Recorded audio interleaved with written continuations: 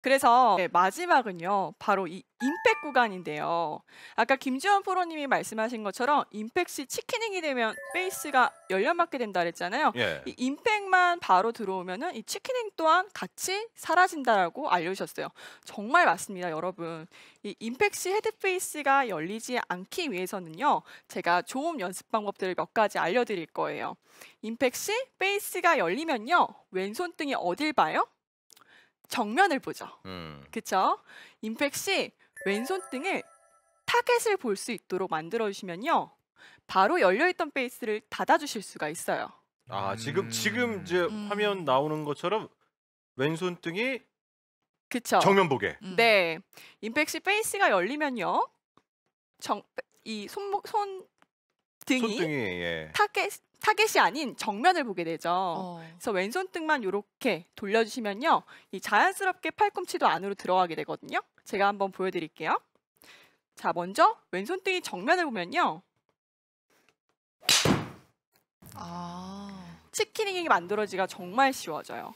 하지만 이 왼손 등만 이렇게 전환을 시켜주시면 음. 어, 샷. 네. 자연스럽게 드로우를 만들어내실 수가 있고요. 또 하나 정말 좋은 연습 방법이 있습니다. 바로 이 공을요. 우측 위에 놔주세요. 그 다음에 이 헤드 페이스가요. 이 공을 따라서 들어올 수 있도록 해주시는 거예요. 임팩트 시 페이스가 열려 맞게 되면요. 이렇게 채가 뒤로 처지는 것을 볼 수가 있어요. 근데 이 헤드 페이스가 바로 들어오게만 해도요. 페이스가 열리는 것을 방지하실 수가 있거든요. 이 공을 의식하면서 이 헤드 페이스가 공을 따라서 들어올 수 있도록 해주시면요. 바로 open face 되는 것을 고치실 수가 있습니다. 그 공을 따라서 들어온다는 게 음. 무슨 의미인지 정확히 잘 이해를 못 하겠는데 어디를 맞춰야 된다는 생각을 해야 되는 거예요? 아, 네. 제가 다시 한번 설명해 드릴게요. 채가 누워 들어오게 되면은 페이스가 오픈이 돼요. 음. 근데 헤드가 위에서 들어오면요. 이렇게 페이스를 바로 close 형태로 만들어낼 수가 있어요. 자, 보이시나요? 헤드 페이스가 위로 들어오면은 close가 만들어지고요. 헤드 페이스가 밑으로 들어오게 되면요. 오픈 페이스 형태 가 만들어지게 돼요. 아 그러면 공 위를 좀 지나간다는 생각으로 헤드를 닫아야 하는 건가요? 네, 맞아요. 이 in to out 궤도는요, 이 골반 높이까지만 in to out이고요. 여기서부터는 열려있던 페이스를 닫아주셔야 돼요.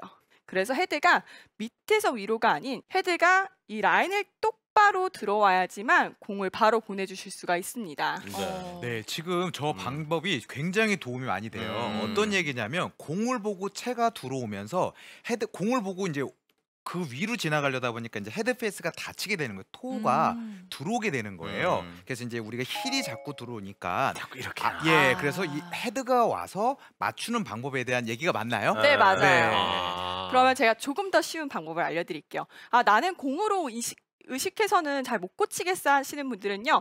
다운스윙 때 이 위치에서요. 이 골반 높이에서요. 여기서 헤드 페이스가 조금 더 앞으로 들어오게 하면 돼요. 자, in to out 궤도를 만들었어요. 그 다음에 임팩 직전에 이 손이 앞으로가 아니라 이 헤드가 더 손보다 앞으로 보이시나요? 이렇게 들어올 수 음. 있도록 해주시면요. 이 헤드 페이스가 close 형태를 만들어낼 수가 있습니다. 음. 제가 한번 보여드릴게요. 자, in to out을 만들었어요. 근데 여기서까지 in to out의 형태를 만들게 되면요. 페이스가 오픈이 나와요. 네. 하지만 in to out을 만들고 자, 골반 높이에서는 헤드가 바로 들어오겠어요. 그러면 인투아웃의 클로즈를 만들어낼 수가 있는 거죠. 그러니까 손이 이게- 빨리 가야 되네요. 음. 정말 중요한 네. 포인트예요. 음. 어, 난 in to out인데도 자꾸 슬라이스가 나 하시는 분들은요.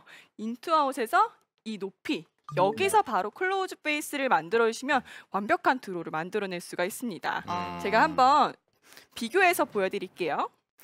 in to out 궤도이긴 한데 헤드 페이스가 열린 경우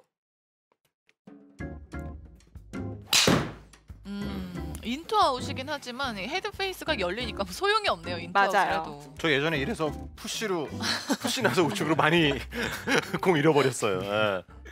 자 똑같은 네. in to out인데 골반 높이에서 헤드 페이스가 닫힌 경우